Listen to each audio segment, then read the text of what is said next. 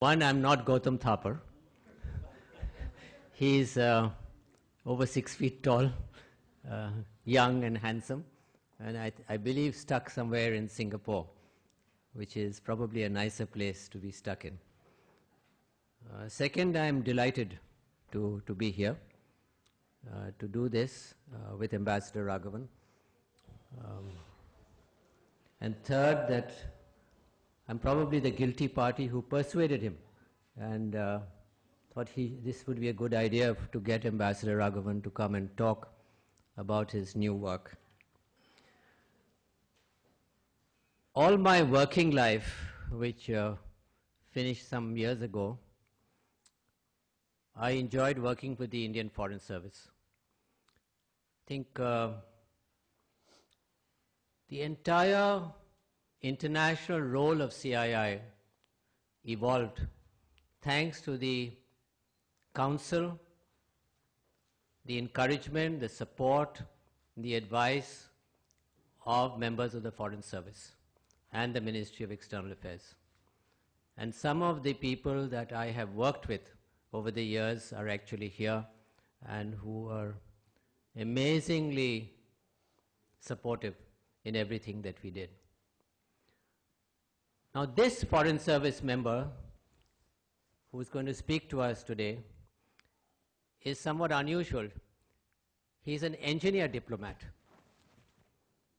You always think that, you know, Foreign Service means St. Stephen's, IFS, and he's not just an ordinary engineer. He was an engineer in electronics and telecommunication engineering from the Indian Institute of Science in Bangalore, which is a premier engineering university of this country. Then he lost his way and joined the Foreign Service. Been posted all over the world in many, many places. But I remember him most in one particular post. As the foreign policy aide to Prime Minister Atal Bihari Vajpayee, where he served for several years in the Prime Minister's office at a time when much was happening in India's international relationships. And I recall those days with much pleasure and satisfaction. He was always competent, always straight, always direct, and always tough. But it was great to be with him. And today he is leading a new dimension of India's foreign policy. We have given it, in consultation with Ambassador Raghavan, a kind of innocuous title of a development partnership initiative. I will leave it to Ambassador Raghavan to explain what it is all about, what he is doing, how he is doing it with his team, and after he speaks, I would invite uh, questions to Ambassador Raghavan. With that, over to you, Mr. Speaker.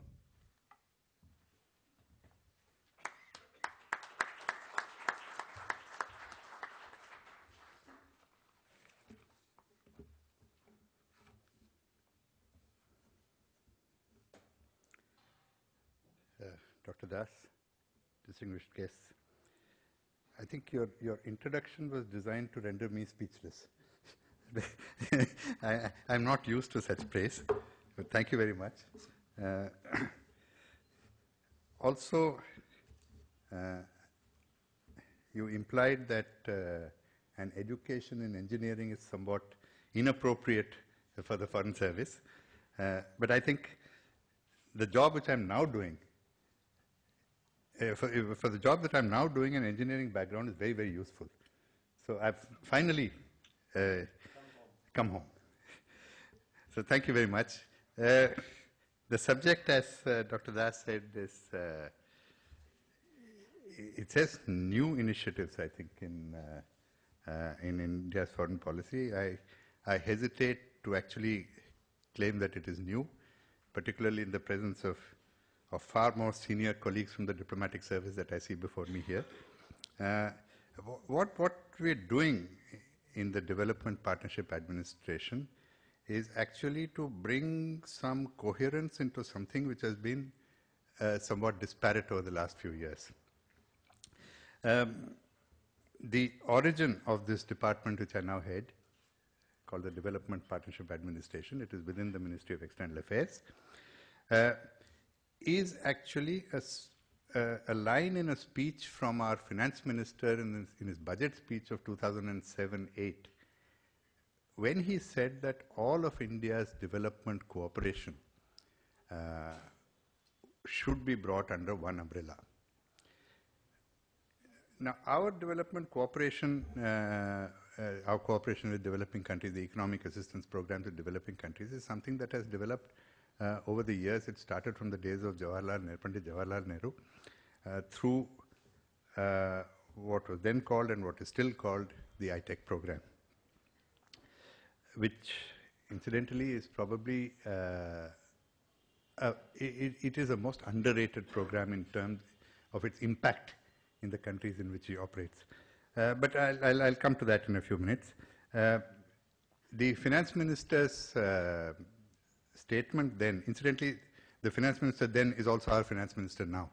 Uh, it, it, grew from the fact that in the last 10 years in particular, somewhere around 2003 onward, 2002, 2003 onwards, the development assistance that India extends to its developing country partners has expanded considerably. With our economic growth, the volume of this, the volume and the, the diversity and the range of this uh, cooperation expanded considerably, and therefore the need was felt to, to put it under one umbrella, to take stock of what we're doing, to establish, to streamline procedures, to establish some coherence in the uh, structures that are administering the uh, partnership program.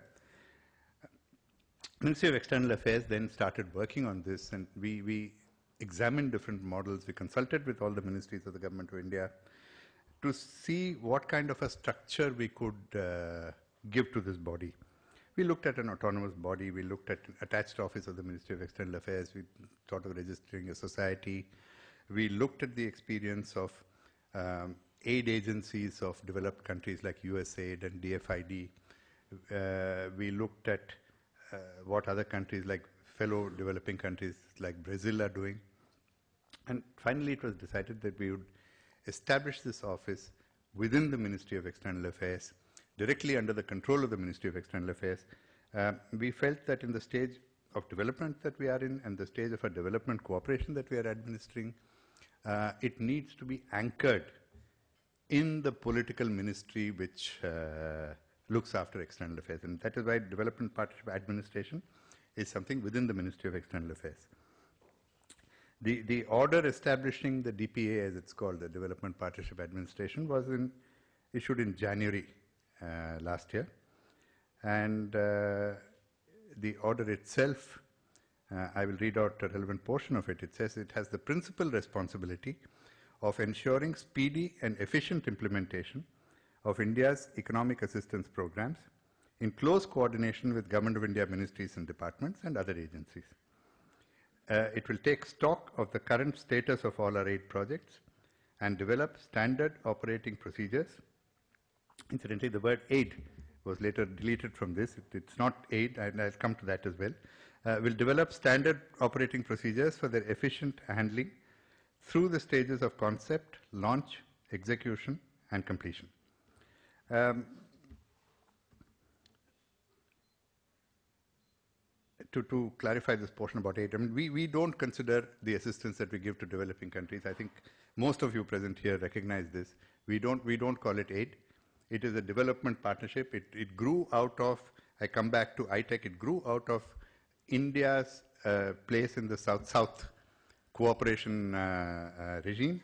Uh, it started with capacity building.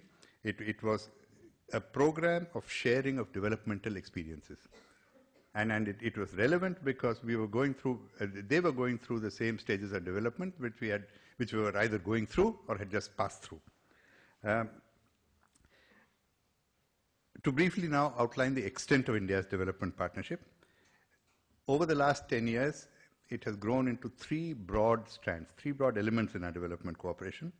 One, the oldest is capacity building, which uh, incidentally started uh, during the time of Pandit Jawaharlal Nehru.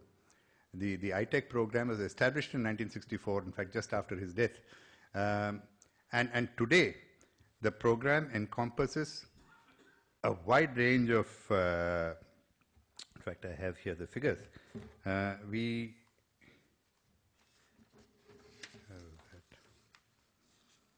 Yeah, we train over 8,500 civilians from different parts of the developing world, from 161 countries, and in about 280 courses. And these, these the, the courses that we conduct, they range from one week to six weeks typically, and they are in, in, in disciplines which range from accounts and finance and budgeting to uh, entrepreneurial development, rural development, forestry. In fact, there's a, there's a whole IT, telecommunication, management, small, small and medium enterprises. Uh, we have training in the Bureau of Parliamentary Studies and Training, Human Settlement Management, Mass Communication, and Environment and Renewable, renewable Energy, uh, and a variety of other subjects. And I said before that this is a very underrated program. If you go to Africa today, any part of Africa, the number of people you find who have been trained in ITEC courses in India, uh, who acknowledge it, and who therefore have a link with India, is enormous. It is unimaginable. It, it's a, it's a, a program that is relatively low cost. The uh, total budget for ITEC in any particular year is, and if you take into, taking into account the ITEC and allied capacity building program. We have something called as Commonwealth Assistance Program for Africa. Uh, we have the TCS, the Technical Cooperation Scheme the under the Colombo Plan. All these are basically uh, capacity building programs of the same kind. You are looking at a budget of something in the nature of 200 crore rupees a year. Uh, the, the, the, kind of uh, goodwill that it generates is enormous. The second strand in our development partnership is something that uh, grew considerably over the last 10 years, particularly since 2002, 3, uh, are the lines of credit. They're concessional lines of credit that uh, are actually extended by the Exim Bank of India to uh, developing countries. What the government does is it steps in with an interest subvention to the Exim Bank to, to bridge the gap between the, the, uh, their borrowing costs and, and the, uh, the, the interest at which they lend out to the foreign governments. The lines of credit have also grown tremendously in, uh, again, in volume and in diversity.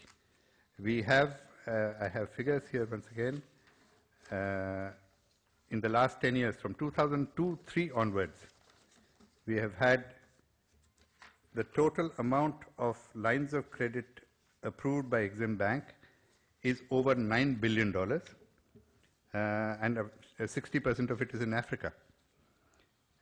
And these lines of credit, again, cover areas. I've got, I've got a list of, uh, we, we, at the moment it covers something like 486 project, uh, contracts, which, which range across the spectrum. the hydroelectric project, textile project, pharmaceutical projects, roads, dams, uh, parliament building, tractor assembly, a, a, very wide range of subjects. What, what actually uh, determines the selection of the projects under the lines of control, and this is true really of our entire development cooperation. The philosophy behind it is that it should be demand driven, it should be development oriented, and it should be non-prescriptive in nature. So we, we, we go according to the request of the host government. Uh, there is a basic determination that the project is feasible from a technical and economic perspective. And we don't go in, uh, we are not judgmental beyond that. It is again a scheme which has worked very well. We have had problems in some areas. I'll come to that as well. And, and the Development Partnership Administration once again was tasked with the charge, uh, was tasked uh, with the job of ensuring that these projects are better implemented, these projects uh, better uh, meet the interests of the borrowing governments and are protected from both cost overruns and uh, schedule overruns. The third element in our development cooperation is grant assistance. Of course, the, the overwhelming uh, bulk of our grant assistance projects are in our neighboring countries. And, uh, but, but there are still quite a few in Central Asia, in Africa, in Southeast Asia. We have, uh, again, if you, if you take a look at the grant uh, projects funded by the Ministry of External Affairs, we are today looking at an annual figure of somewhere between 3,000 to 3,500 crores of rupees, which is a significant amount of money. Uh, and it, it, the projects that are covered by it, again, are varied. If you look around at our neighborhood, we have uh, the Salma Dam project in Afghanistan, uh, the Afghanistan, the Afghan Parliament building. Uh, we've done transmission lines in Afghanistan. We are doing substations as well. We are involved in setting up an agricultural university. Uh, in, in Nepal, hydroelectric projects, roads projects, uh, a number of cultural institutions. In Myanmar, uh, we, are, we are engaged at the moment in um, establishing an Institute of Information Technology, an Institute of Agricultural Research, a number of road projects, and of course there is this uh, uh, much publicized multimodal transport project on Kaladan, on the river Kaladan, which would, which would eventually link the uh, port of Sitwe in uh, Myanmar with uh, uh, uh, the Mizoram border. And, and it would be an inland waterway linked, attached to a road, basically. A, number of others as well. Sri Lanka, there are a number of railway projects in Sri Lanka. there's a hospital project, harbors, inland waterways, and of course the, the biggest project in Sri Lanka at the moment is uh, the construction of 50,000 houses uh, in the northern and eastern province to help in the rehabilitation of the internally displaced persons. Uh, eh, so, so actually, when I describe this, I have actually described the reason why DPA had to be established. What was being done, uh, the, these projects have grown, the, the range of our uh, assistance has grown hugely in the last 10 years, but they were being managed by different divisions in the Ministry of External Affairs. The, the need was obviously there to bring them together under one administration, sorry, uh, to bring them together under one administration in order to see that uh, procedures can be streamlined, technical evaluation can be made more uh, orderly, and a dedicated team which is not burdened with the day-to-day -day political relationship with the countries is available to uh, follow up on projects. I said DPA was established in January uh, last year. Uh, really speaking, by the time we uh, all our staffing came into place, uh, it was June. Uh, I, I, myself had other preoccupations. Actually, I was involved in the BRICS summit, which was towards the end of March. So we are really a, an organization that is six to eight months old. And what we are doing in the, what we have been doing in this period is to bring in outside expertise, uh, since uh, people would accept that diplomats are not necessarily the best project managers. So we, we, have, we, have, tried to get people on deputation from other technical government services. We now have people on deputation from various government services, uh, central government services. We also have engineers from uh, government departments. But we are going further. We are uh, hiring consultant, technical consultants from the private sector as well. Uh, we are in the process of setting up a panel of consultants for uh, technical advice on projects abroad. Uh, so we are trying to bring in uh, capacities and technical manpower that will enable us, that will make us somewhat self-sufficient in implementing the projects that we've been charged with uh, uh, executing we, we, we want to put in procedures also. Uh, this, this, is one criticism uh, against the government in its uh, development assistance programs that we've been. Uh, we do not provide a level playing field for the for uh, all of industry. Uh, we're trying to do that. We're trying to make sure that both the private sector and the public sector have uh, access to information about the projects that we're implementing and the possibility to compete for them as well. Um, the same thing goes about uh, for our uh, projects under the lines of credit. We keep hearing that you know a few companies are executing most of the projects. Well, uh, lines of credit projects are actually executed by the borrowing governments, but we we have been trying to uh, advise them to widen the uh, the range of their choice and to tender uh, award contracts by open tender.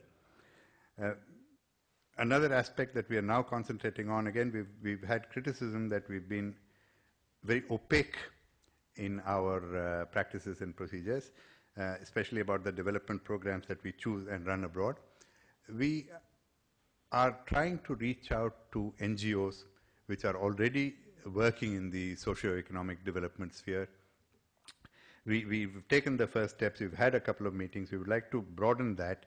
We would like to both learn from the experience of Indian uh, reputed NGOs in this country which have successfully developed uh, models for uh, socio-economic projects. We would like to uh, also partner with such of those NGOs who have worked abroad and who have developed successful programs abroad and see whether we can both take best practices and use their experience to, to run uh, development programs abroad we also, this is something that hasn't really happened so much, but we, we would like, we would like also to better inform the Indian public about what we are doing.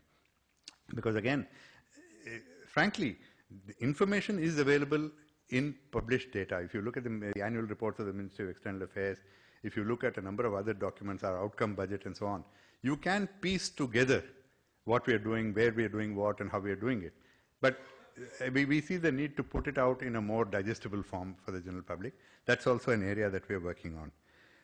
So, in short, what we are trying to do is to create an efficient, professionally managed outfit which will execute a coherent development partnership policy which has a clear short-term, medium-term, and long, long-term objectives. This is basically it. So it is not, to, uh, to go back to the beginning, uh, a new initiative in foreign policy it's probably uh, an arm of, uh, it, it, is, it is, a, it is a, a, a, unit which tries to better execute one particular arm of Indian foreign policy. Let me put it that way. I, would like to stop here, and I'd rather, since it, I, I, see here that it's a very, it's, it's an audience here which comes from different backgrounds and therefore probably has very different interests. So I, would like to respond to your queries and, and listen to your comments rather than continue speaking. Thank you. Thank you.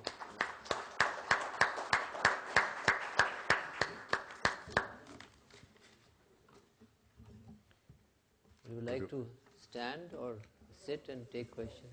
A bureaucrat always likes to sit. Sit, yeah, that's good. Even engineer bureaucrats. Thank you very Thank much. You. That was that was good and uh, very interesting. Uh, I want to kick off with a, a question about uh, capacity building, the first uh, box which you, which you referred to. Um, you're using outside institutions to deliver these uh, human resources uh, training programs, the government institutions or non-government or a mix of both, and uh, because you said there's a very wide range of courses, wide range of training programs. So how are you delivering that program? Maybe be of interest because I think that is a very significant part of, of what you're doing. Yeah. Um, you can hear, I. I, ha I have a book which actually uh, has lists out all the programs that we do. Okay. It, it, it includes government institutions. It includes NGOs. It includes entirely private institutions. Okay. And uh, essentially, this has grown over the years on the basis of demand. Countries have asked us whether we can fund training in particular institutions, and we have gone along with it as long as the institution is uh, reputed. We are constantly adding to the list of institutions that are covered by the ITEC program. And uh, as I said, you know, if, if, you, if I were to take a look at this uh, in terms of institutes, You have, for IT, for example, we do IT and telecommunication. You have Aptech, which is private. You have CMC, you have NIIT, you have UTL Technologies Bangalore, and you also have CDAC and others. So, so it's, it's a mix. You have IITs, many IITs run courses for us. Uh, so it, it's a mix of It's a mix of government, institutions. private, NGOs. And this is a document which is available This, publicly. this is a, this is last year's program. This year's program has just gone into print. So this is available. This is available on the website of the Ministry of External Affairs. Okay. This entire document can be seen on the website.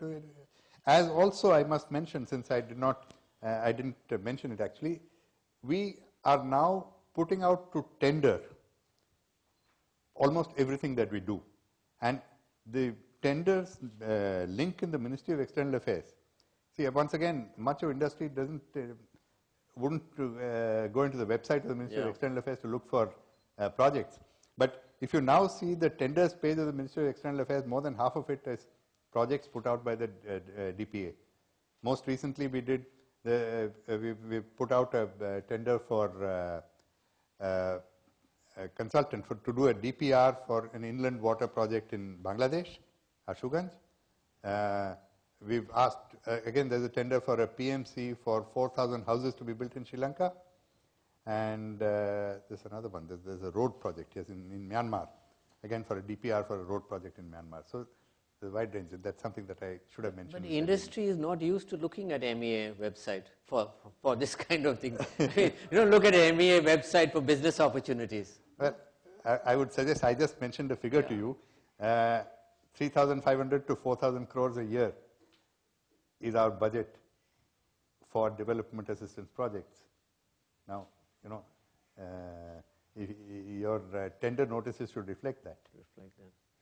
You mentioned that you're getting in um, people from other services to join your team so that you have, I suppose, the ability or technical ability to evaluate uh, offers and all of that stuff. So is this going to be a very large uh, staff in the DPA? No, we don't want to have a large staff. See, in- in this, in this particular uh, sphere, we would like to take the practice of established institutions like DFID and USAID and so on. You need a small dedicated staff, but you need a wider panel of consultants outside who can come in on a sectoral basis to advise. That's what we're doing. We have today uh, staff, so far we have only got the staff which we are getting in from other government services. We've got people from the Railway Account Service, the uh, Indian Telecom Service, we've got from CPWD, uh, Revenue Service as well, a variety of such services.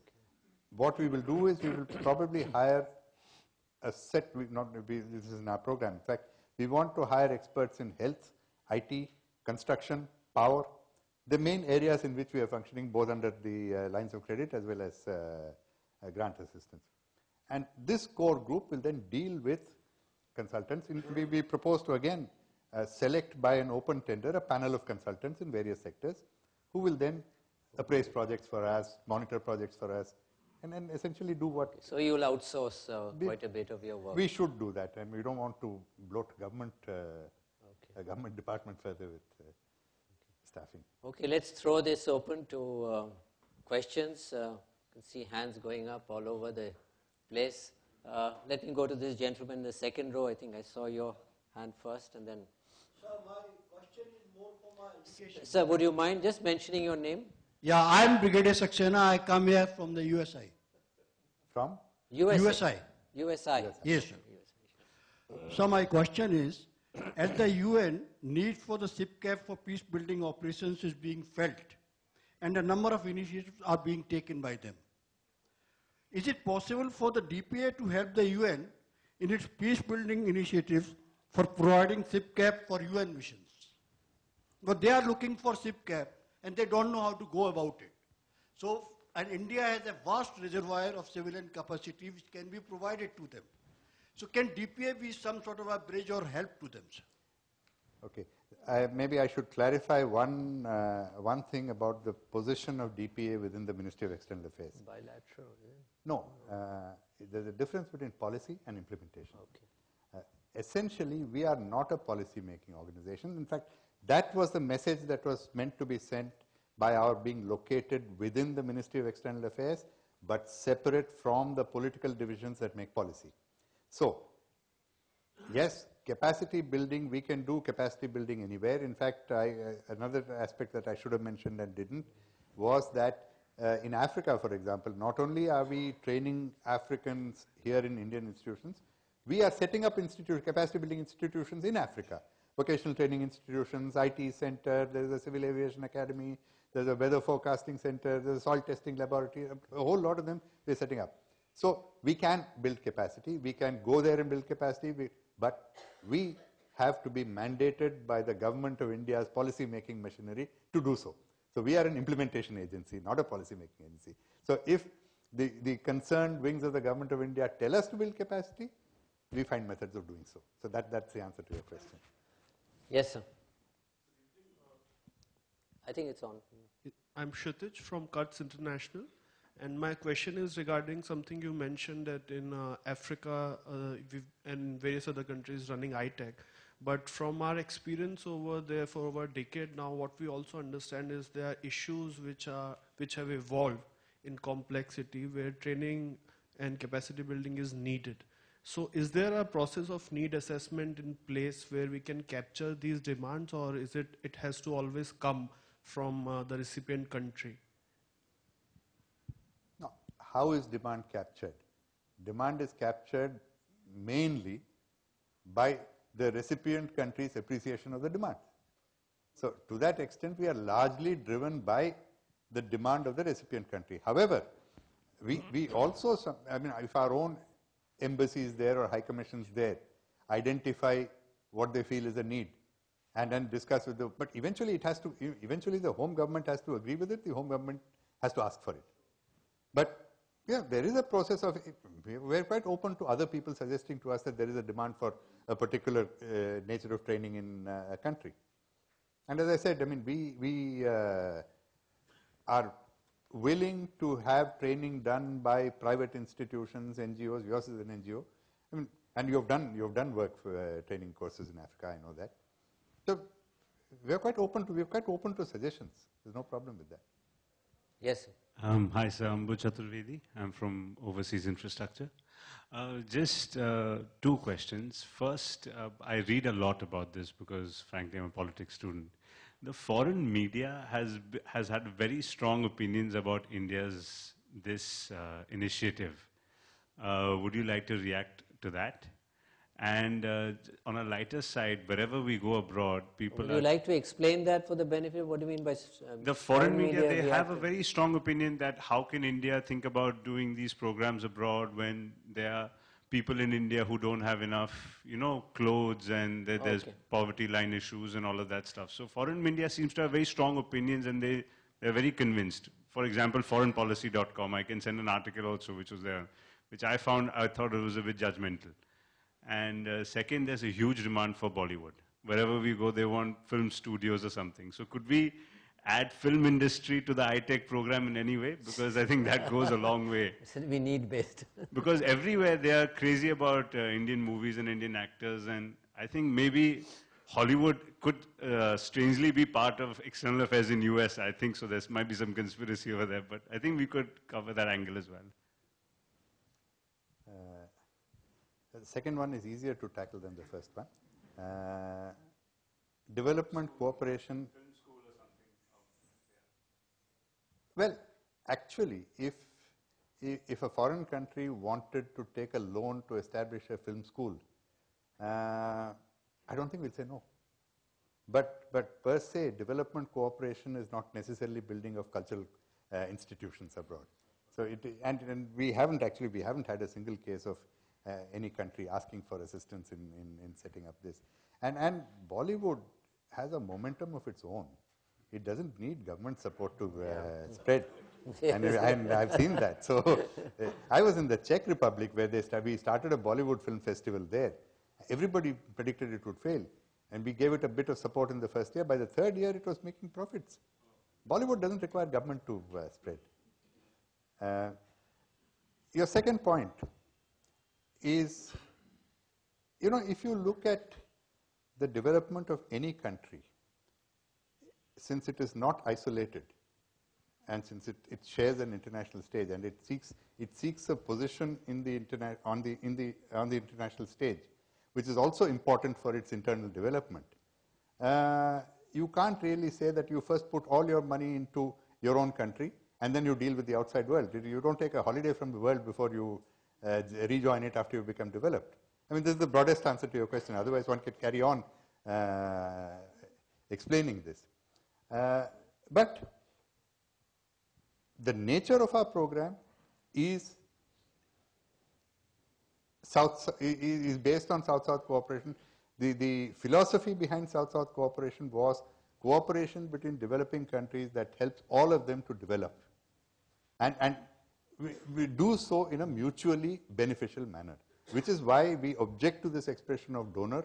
We are not donors, we are not aid givers, we are sharers of development experience. And, and it, it grows out of the philosophy of South-South cooperation, which came at a time when we were much poorer uh, than we are today. So that, that's broadly an answer to your question. Yes, uh, I'm VB Soni, retired Foreign Service Officer. Yes, sir. And after retirement, we are doing projects in Africa, development projects, particularly using LOCs. My question pertains to uh, the, now that the DPA has been formed, this should speed up things. Because one of the, uh, one of the main complaints from the African side was that once a request for LOC has been placed, it takes two to three years for the whole process to be completed before they could get the project started.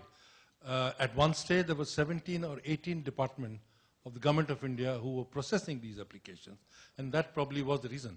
But now that DPA has come into existence, would that mean that we, the, the, the, the uh, processing uh, process will therefore be curtailed and reduced.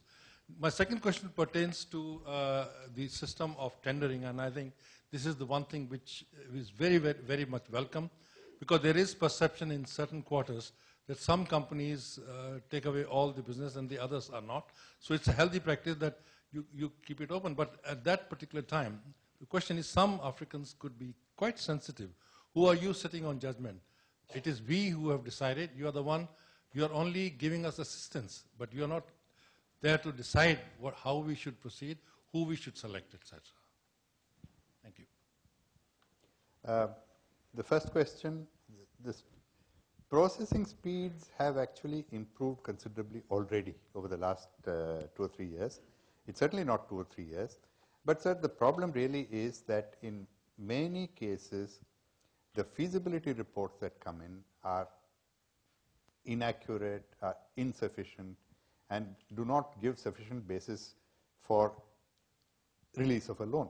And even though we do not uh, apply the stringent conditions that World Bank would do or uh, uh, any such development agency would do, you still need a certain minimum establishment of the techno-economic feasibility because uh, I, I, must, I, mean, I can confess we've had problems in the past with uh, uh, uh countries where you have sanctioned a loan, and there's one country which where a loan was sanctioned for a cement plant. The country kept changing the location of the cement plant even as the material was coming in.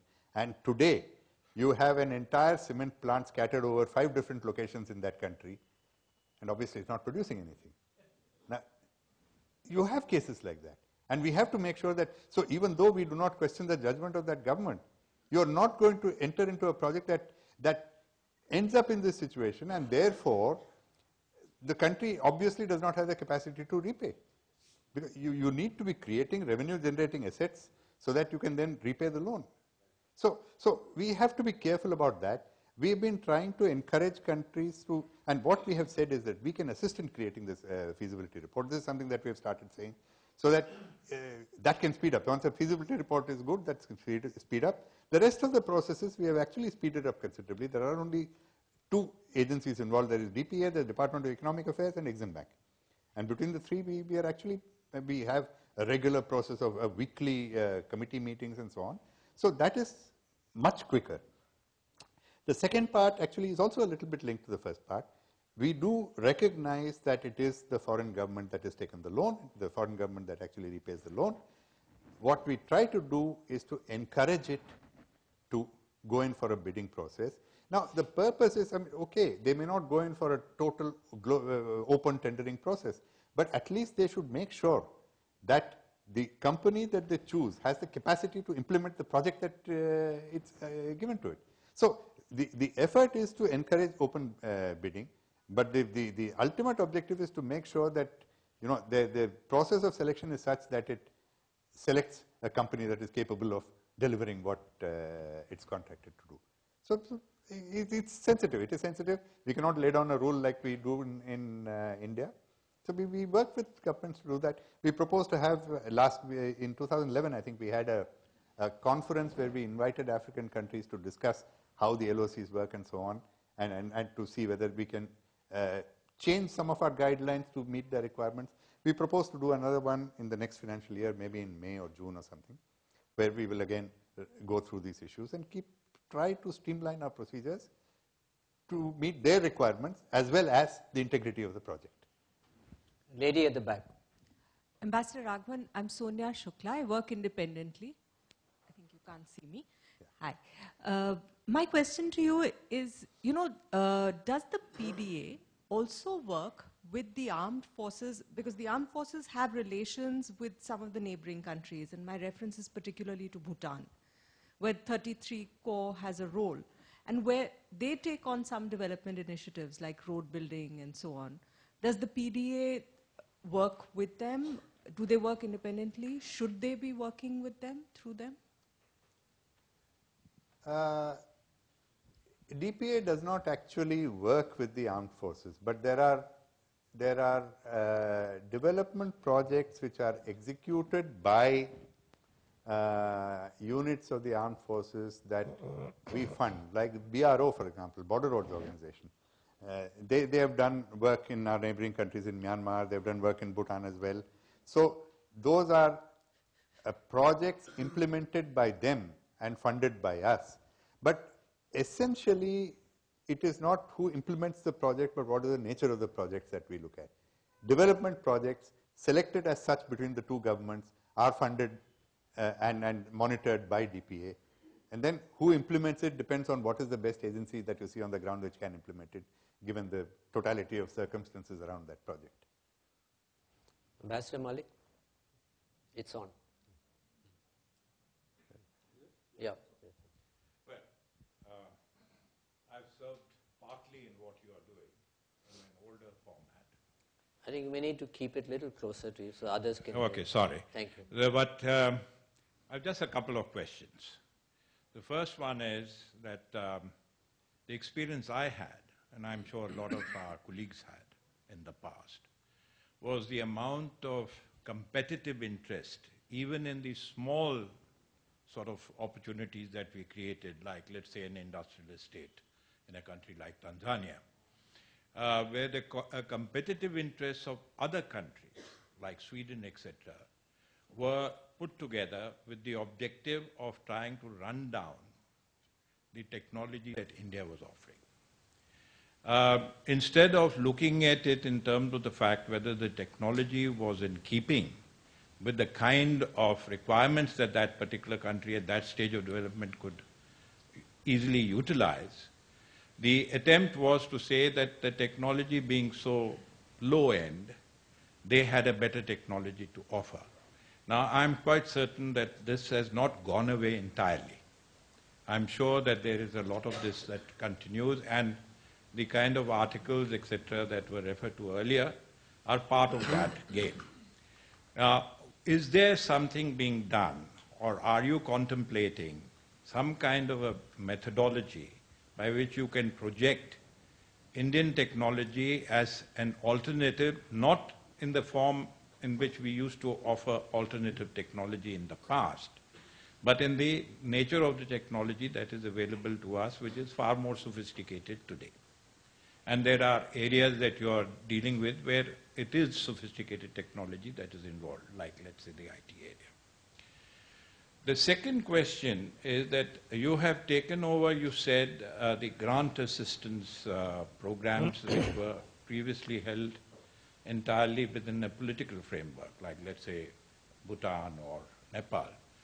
Uh, th- this includes everything that we are doing with these countries, or is it sort of a partial arrangement? In the sense that some of the, like, let's take uh, hydro projects. You've got something that we want to do in Myanmar, there's something that we have continued to do with Bhutan. Uh, I know what the problems are where this is concerned, where Nepal is concerned. Now, how are we handling this under the new dispensation? Are all these projects now being handled by you? Or are these still sort of partially handled by the political divisions and partially handled by you? Um, in this context, I have uh, a question with regard to the Exim Bank, which not necessarily dealing with Nepal or Bhutan, but is certainly dealing with other things.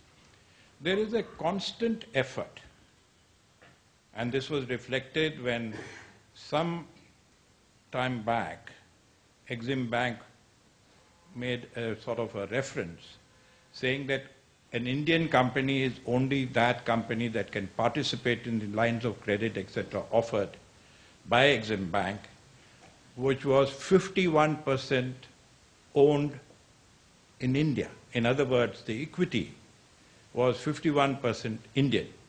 Now, as you know, the, we have got, we have opened up the economy in several areas where up to 100% equity is, uh, can be held by a foreign uh, company. But once it's registered in India, it is technically an Indian company. So how can you make a distinction of this nature? Now, these are the sort of things that keep cropping up constantly, which interfere with the kind of competition that we should actually be having in all the areas where government funding is involved or assistance is involved. So the, I'm sorry, it may be a little complicated, but I certainly would like to have an understanding of how these things are being handled now under your dispensation. Thank you. Thank you, sir. If I may answer from last to first. The, the last is the easiest because that rule has been removed now. I know that. So, so if- if the, any company registered in India can uh, bid for projects, uh, whether it is for an uh, LOC project or a grant assistance project, so we don't have that problem. Uh, number two, yes, the DPA is intended to take over all projects, every single project. The, the fact is we have not yet completed the process. Bhutan, specific case of Bhutan, since Bhutan is, is a fairly large chunk, we have, it is I who have decided that I will do that a little bit later because that is already run very well. There is a certain pattern in it. So we will, we will probably take over those projects somewhere down the line later this year. So, but other than that, the intention certainly is that all our development cooperation projects, those which are development cooperation projects, will be taken over by the partnership administration. Uh, your first point, actually, I, am also aware of, of, the, of these uh, various, uh, the, the skepticism about Indian technology, which was fueled by other competitors and so on. But I must tell you that the situation has improved over the last uh, 10 years. There is certainly, for, for a number of reasons, uh, there is better recognition uh, of the capa- capabilities of Indian companies and the capabilities of Indian technology. Indian technology itself has improved, and and and uh, there, of course, again tying in with the point that Ambassador Soni made, this is our, our intention is to try to make sure that the better companies go, so that what they set up uh, do not feed the, uh, the, the, the stories about incompetence of Indian technology or the insufficiencies of Indian technology. So the, the last point, of course, is also that earlier countries that used to criticize Indian aid projects are now wanting to join up with India to execute projects. So that has, that has improved the uh, general setup uh, in which our projects are viewed abroad. I hope I've answered your point. Ambassador Bhatia. Thank you. Rajiv Bhatia, um, having served uh, as ambassador in four countries and having dealt with these issues on the ground level, uh, I thought I would share uh, very briefly observations which are actually reflected in three uh, interrelated uh, questions. First is uh, I'm a little troubled that uh, uh, policy part uh, is still with the political divisions, which is fine in terms of bilateral relationships. But policy on partnership, I hope, would be handled by you because somebody in South Block must understand what our competitors are doing China, Brazil and the older powers? Because you would need to draw lessons from this. So is it being done?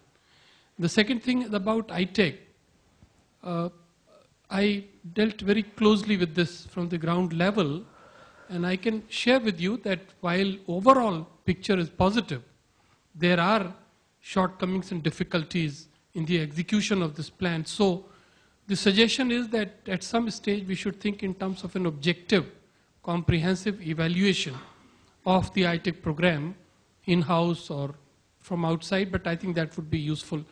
Could you consider doing that? And finally, this uh, task to set up 100 training institutions uh, and centers in Africa in a matter of three or four years. And soon it would be time for us to account for it in 2014 when the next summit takes place. How is it shaping up, Raghavan?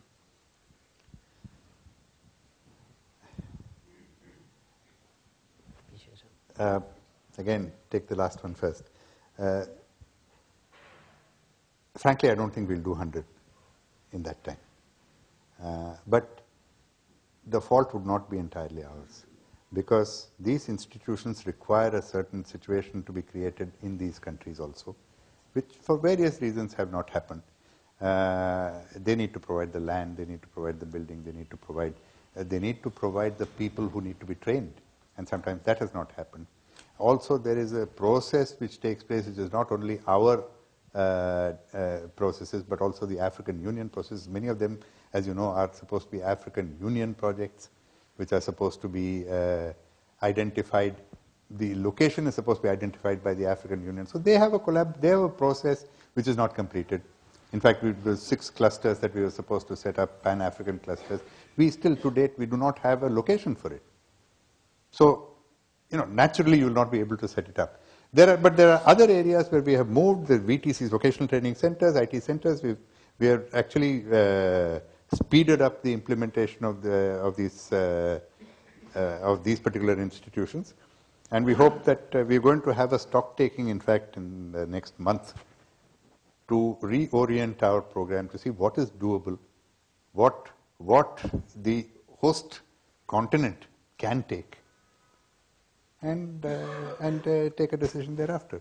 Uh, about policy, practice, we work very closely with the political divisions and we, we uh, what we do, we do participate in the policy making as, as well in the sense that because we have the experience of projects implemented abroad, we are able to tell divisions that this is possible and this is not possible or we would suggest your uh, tailoring your project in this manner so that you can do it. So this is what we, we, we would be an, in an advisory capacity. But the policy is made on the basis of relationship with countries by the uh, territorial division. The policy on the actual implementation of the project is done entirely by us. How you implement it, how you go about it is done entirely by us.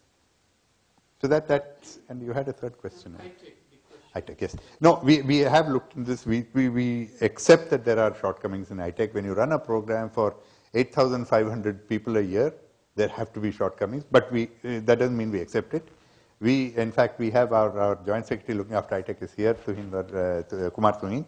Um, we have instituted a number of uh, procedures to, to both speed up uh, the nomination process as well as speed up the processes. Many of the processes arise because of delays in payments to the institutions and therefore the institutions do not uh, uh, Uh, uh, disburse money to the uh, students and things like that. So we are working at, at, at both the, uh, the, the other end as well as this end to streamline the procedures for ITEC. We want to computerize the whole process from the point that the applicant applies to the point that the payment is made. And we've done some work on that and we hope to make progress on that. We also want to identify newer institutions. This was a question that the gentleman from CUTS also mentioned. Uh, we are systematically trying to see whether we can have uh, institutions that also reflect the advances India has made in technologies over uh, these past 10 years, because many of these institutions are traditional institutions. So we're trying to see whether we can widen the network of institutions that impart ITEC programs. So the, the ITEC, ITEC uh, reform, as I said, ITEC is one of our most successful development programs and we would like to keep it as uh, popular as possible. Gentleman in the second row. Thank you. I'm Bernd Dunzler from the German Embassy. I have one question, sir, regarding triangulation. That's an idea countries like Germany are very interested in. And the concept, in a nutshell, you take, let's say, a traditional OECD country, joining hands with an emerging country like India or Brazil or Mexico, and together they uh, design and uh, implement jointly development projects in a least developed country, for example, in sub-Saharan Africa. The idea behind it, you combine the respective comparative advantages, especially the advantages of emerging countries like India, who have their experiences from their ongoing own development processes. So I'd be interested in the position of DPA concerning this concept of triangulation. Um, I think I mentioned in the course of my presentation that our, our uh, development assistance so far has, been, has tended to be bilateral.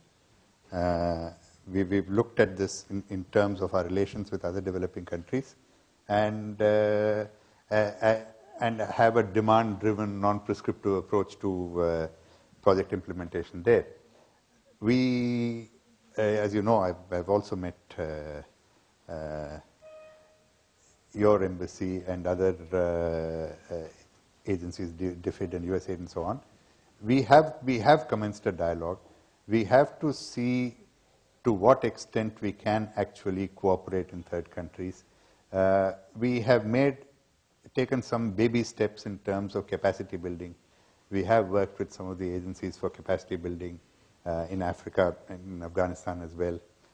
We are concerned that any cooperation that we, agreement that we enter into should continue to reflect our own philosophy of development cooperation, uh, that it should be demand driven, that it should be non-prescriptive, that it should uh, meet the, uh, both the, the, the development objectives of, of the recipient country. Now, if we can do that, I think we can proceed forward, but it's something that we, we first want to consolidate uh, DPA in its present role before we step into that role. So I, as I've told many of your colleagues, we, we are willing to look at dialogue for concrete cooperation, but it's going to be a few months down the line, uh, maybe six, six months or so down the line, when we can really talk about concrete steps. Having said that, we are very interested in the best practices followed by different aid agencies and development cooperation agencies. And we would like to learn from that. Whatever we can take from that, we would like to do. So to that end, we, are, we would be happy to also commence a dialogue. Ambassador Rasgotra. Ambassador Raghavan, uh, what you have described is a great step forward. It needed doing, and I'm glad uh, things have been brought together in this way. I administered the aid programs for Bhutan and Nepal for nearly five years. And I used to have to run down to the Department of Water and Power, to Ministry of Commerce, to Finance Ministry. The worst tyranny was of the Finance Ministry. At every stage, for a sanction, I had to go to them. To what extent are you shielded against this tyranny? What kind of control do you have on the administration of your budget? Uh,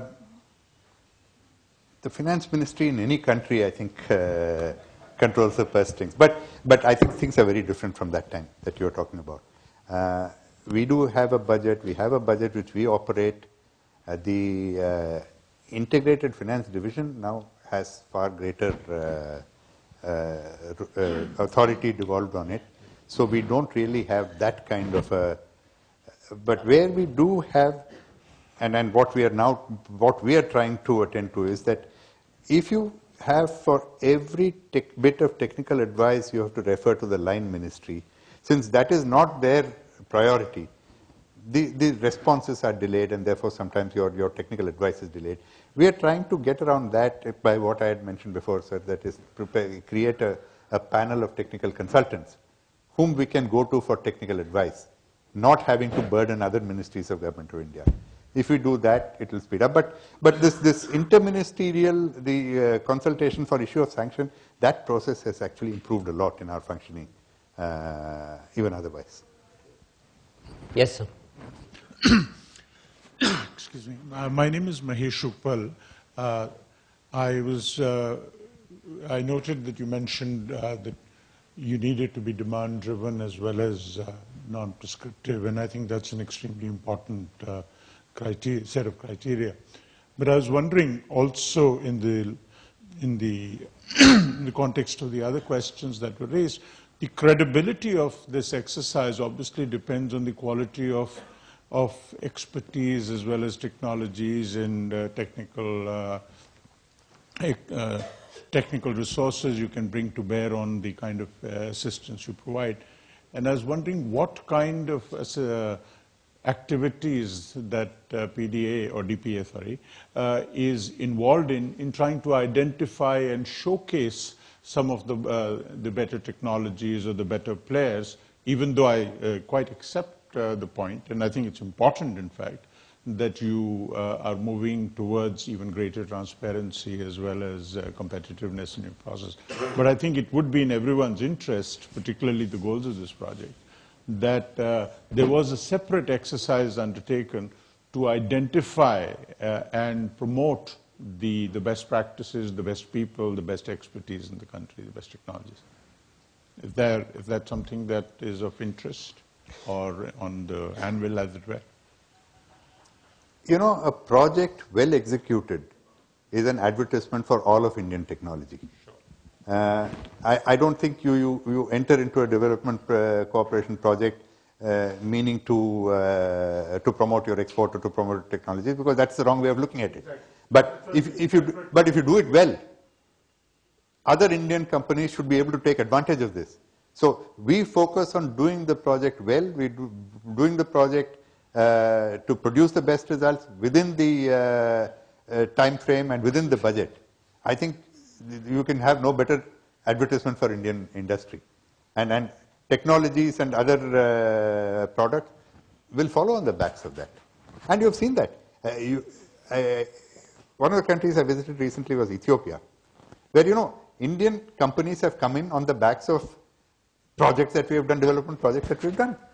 No, I was thinking more in terms of CII conclaves and FICCI meetings and so on as well. So this is something that is also on our program, uh, an outreach to industry, outreach to uh, the Indian uh, public and private sector. To yes, in fact, uh, the uh, recently there was this forum on development cooperation, which includes academia and NGOs, which was recently formed in the RIS. We supported it. I went and talked to them. We, we are improving our public outreach. I hope. Gentlemen, My name is Gautam Mahajan. I used to be president of the Indo-American Chamber of Commerce. Uh, I uh, go along with what he was saying. And uh, one of the things that I believe we should be thinking about is not being apologetic about the state of our technology, but the fact that our technology might be much more relevant to developing countries. Now, I'm going to give you an example which may not be really relevant because we may not have this technology. But if you were going to suggest building a city in Africa, would you build a Chicago, would you build a Los Angeles, or would you build a New York? Or would you build something that is really a, future, a city of the future which doesn't have all of the ills of, of those kinds of technologies? Or if you were thinking of transportation, would you say that the only prescription is to have cars, for example? So what I'm saying is that we should start thinking about the kinds of technologies that we've been able to build for ourselves that are very, very relevant for developing countries, whether it's check dams or it's gobar gas or whatever it is. And we should be, uh, as you, I, I agree with you, you don't need to be prescriptive, but you could be suggestive. I agree with you, and that is something that we are uh, gearing ourselves to do. I mentioned this outreach to NGOs, this trying to learn from successful socio-economic programs here. We want to take them out and say that, look, this is a menu of, of, of programs that you have. Would you like to choose from that? We'd like to do that. And we'd certainly like to, especially uh, uh, uh projects that have been successful in rural areas, in areas which require development, we want to take it out. We want to uh, partner with agencies which have done this and see whether we can do this abroad. That's very much part of our agenda. Yes, sir. Thank you, Tarun.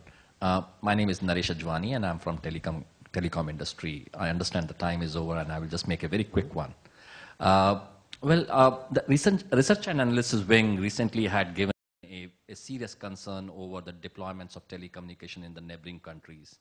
And I think it is, while it is sensitive and important, is something being done there to you know, have some kind of a DPA program there for telecommunication? Uh, what do you mean by a DPA program for telecommunication? Well, um, in the neighboring countries, we are seeing that there is a deployment of Chinese telecom companies. Yes. Is something which we also can do from India because India has taken a lead and edge, especially in GSM area, for uh, mobile deployment and telecom deployment. It would depend on that country coming to India, no? Yes, it would depend on that. It would depend on, and then you know, uh, you are protecting your country. You can't protect the whole world. I mean, from any, from so, no. We see, it, it's not development cooperation is not a competitive uh, field. We are not trying to compete and say that, you know, don't take this telecom equipment from them, take it from us. It's not, it's, it, it doesn't work that way. So it, it, it, it, it's a mix of the relationship as well. Countries have relations with other countries. They decide whom they want to get what from. They have, they may have economic objectives for it. They may have political objectives for, for it. It's, it's not for us to question.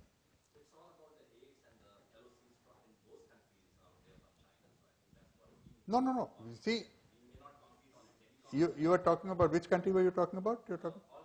No, but you're, no, you talk about Myanmar, I think now. Okay. Now, Myanmar is a country to which we have extended a line of credit of $500 million for use in whatever development activity they want. If they want telecom, let them ask us. In fact, there is a, by the way, there is a telecom project in that 500 million.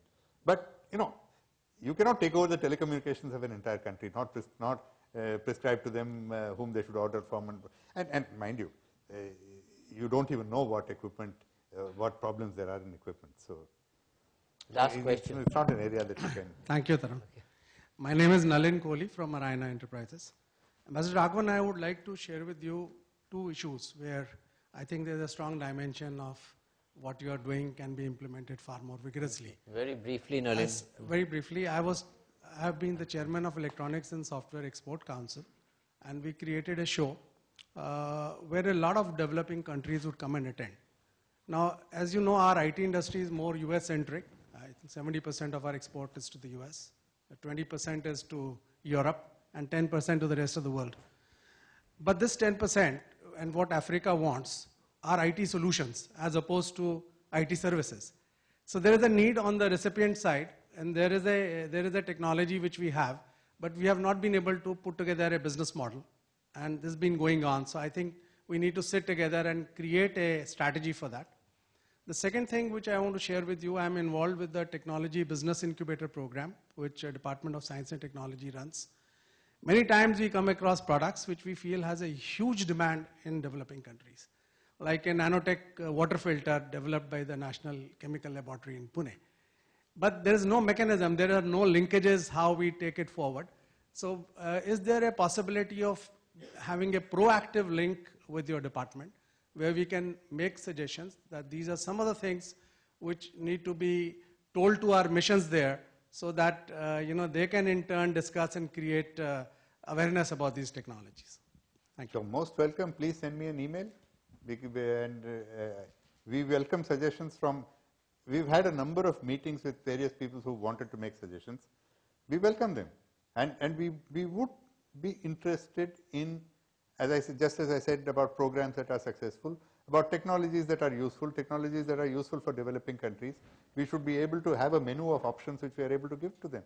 Say that would you like to choose them. And similarly, I would suggest that you also get in touch with our embassies, with our heads of missions in these developing countries about products that may have been developed so that they are also able to talk to them about, talk to the uh, people in that country about it and generate an interest in that. I think many of our missions are already very proactive in this uh, particular respect. Last question for the lady. Okay, thank you. Sir, I don't have a development background. I'm from the private sector. I also don't have a development background.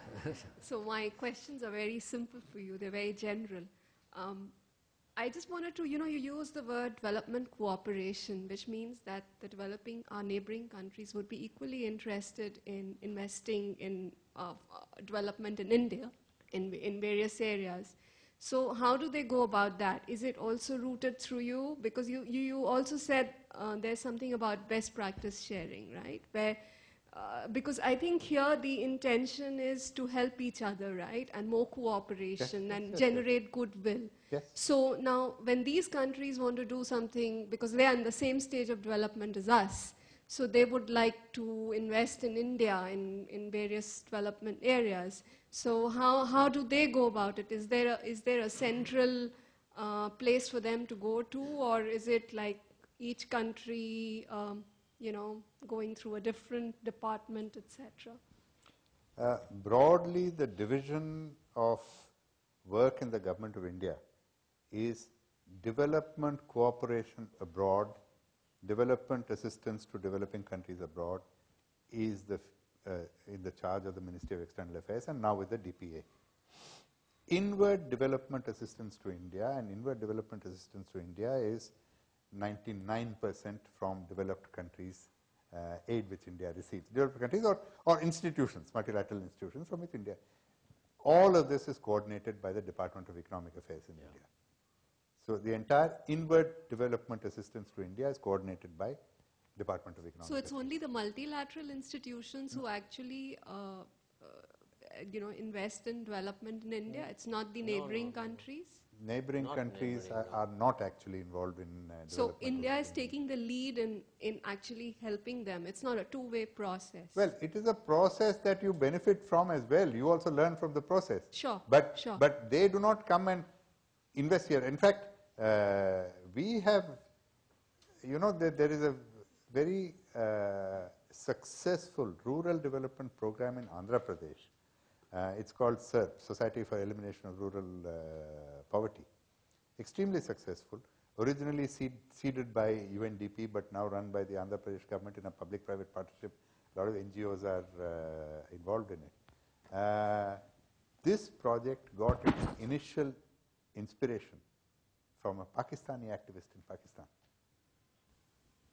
And it has also picked up uh, experiences from Bangladesh, from the Grameen Bank. But it has developed its own model. So, you know, there are development experience sharing without necessarily their having to come here and set up a, uh, an agency in India. So we, we have, you know, our agencies have learned from uh, our neighboring countries and other Africa, African countries as well. In fact, uh, there's a women's empowerment.